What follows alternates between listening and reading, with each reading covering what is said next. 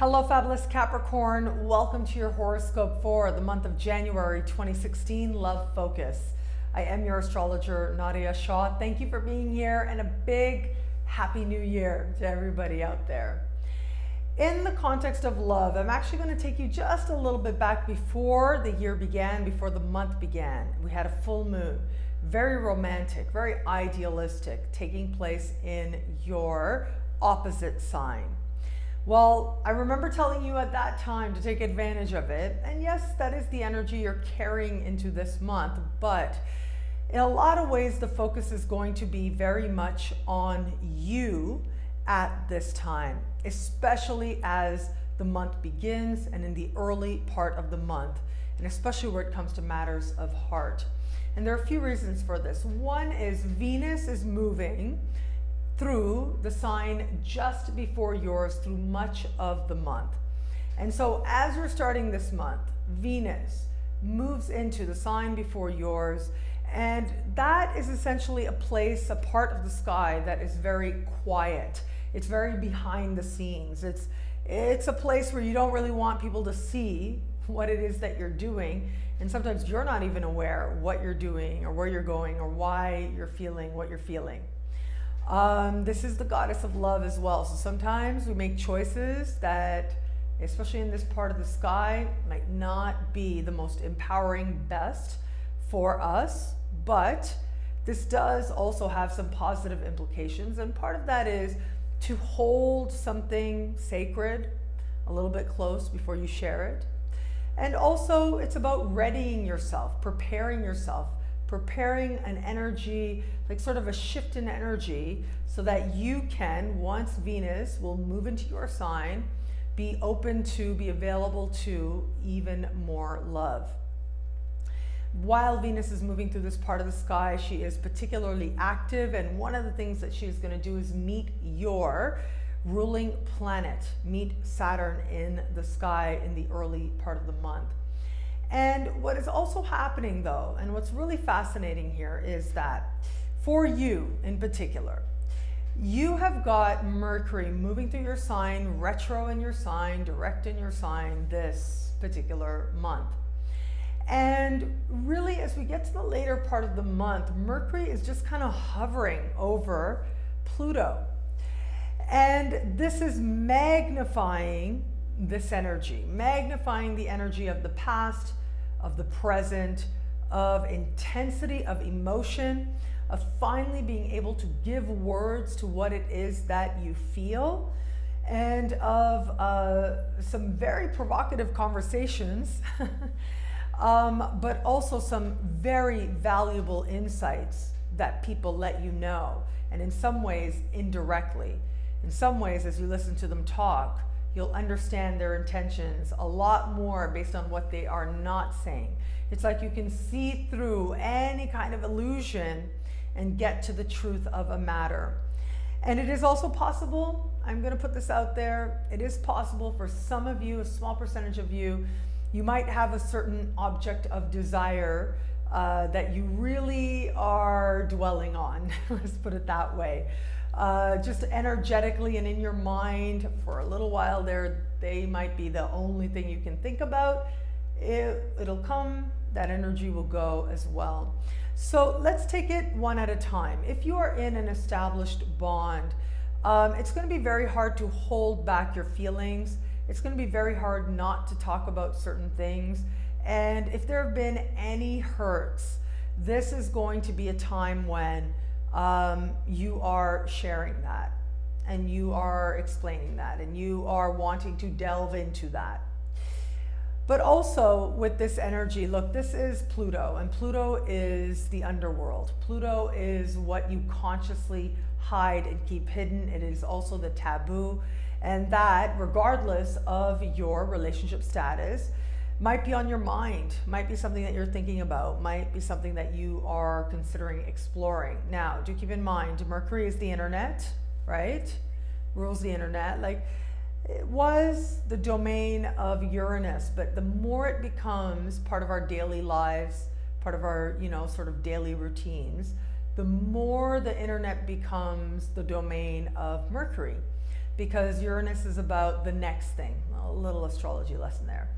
Uranus is about the next, you know, the future, uh, the way that we're connecting, the, the digital revolutions and airwaves and the next technologies. And Mercury is about what's already here and being fully utilized.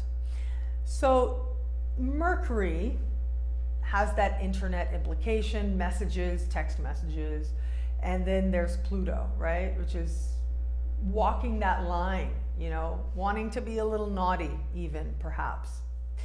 So you want to be mindful of this based on your own unique circumstances and how it is that you choose to manifest this energy. There are ways to manifest it in ways that are empowering and ways that um, maybe might not feel so good to you. So it really does depend on the light of your own circumstances. Mercury is retro through a lot of this time. We'll station, you know, we'll stand still and go direct, hovering over Pluto, as I said. And so this does suggest that some of the choices that you make, I mean, it really just might be like experimenting or choices that you make is just really so that you get that experience but you know once things are back on track you really are thinking in a whole other way so you might surprise yourself by your willingness or by the things that you want to talk about with other people now this can be really good if also like one conscious healthy way to use this energy um, is to see somebody a therapist right to really delve into what's going on and what it is that desires to change in your life and in your love life in particular. So, if you're in an established bond, um, you might be hoping that your partner is going to walk with you in that direction, or there might be a part of you that you want to just, you know, explore a little bit on your own um, and keep it quiet. If you are getting to know someone, this energy becomes very different. Um, if you're getting to know someone, I think that this is going to be like the revealing of their secrets. You finding out stuff or you knowing things about them and they don't realize that you know. Very possible under this particular sky. So, whether it's you like sort of asking questions or doing some sleuthing, or someone just like told you, right? like it, it becomes very abundantly clear. This person doesn't have to state it right out but you you know it on a mind level you know it you've been told it or you've read it but also instinctively chances are that you know some truths that maybe this person isn't ready to share with you. Now it may or may not be a deal breaker. You do also want to watch again mercury retrograde. You don't always get what you think you're getting and it is possible that um, something is shared that if a part of you feels like uh, that, that doesn't really feel accurate, that doesn't really feel right, um, then you might want to have a look at that as well. But I have a feeling, you know, as I see this, it's almost as if I, I feel that if you're just getting to know somebody, it's like they might share something or they might not share something. They might share something that's been altered a little bit because going into the whole reality of the situation is uh, a little bit too much, is a little bit too intense, would make it a little bit too raw for them, or would make it feel like um, they would then have to explain a whole bunch of things that they really are not prepared for or don't really want to get into. So it's not that I'm saying that it's necessarily a bad thing, but just know that there might be, if there's some spaces there and you're wondering, okay, I'm seeing some holes here. It might be okay to allow that, or it might be okay to put that off a little bit. But I do think that ultimately you are going to find out more than they realize that you know. And if you are open to meeting somebody new, I mean, talk about transformative experiences. Um, this is, you know, just being very drawn to another person, likely communicating with them. Very strong chance that someone you've already connected with in the past that you had strong feelings for uh, would return right about now to sort of reawaken uh, some of that intensity. So if there's been somebody strong connection was felt, um, but it didn't really pan out, or uh, you know it, it was a meeting that was especially passionate but didn't really go anywhere else. This could be a time when that person returns in some way, whether it's you that makes the effort or them or it's synchronicity. It does look like some type of reunion is taking place as part of you getting a clearer understanding of what was and who this person actually is as part of going forward. What I love about this month for you in the context of love is your bravery. you are willing to go there, and I mean there. Um, you are willing to ask yourself some tough questions and also to be very brave and bold in searching for those answers.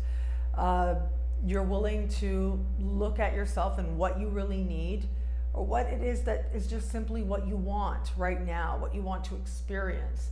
That level of honesty ultimately is healthy. How you move forward with that ultimately is up to you.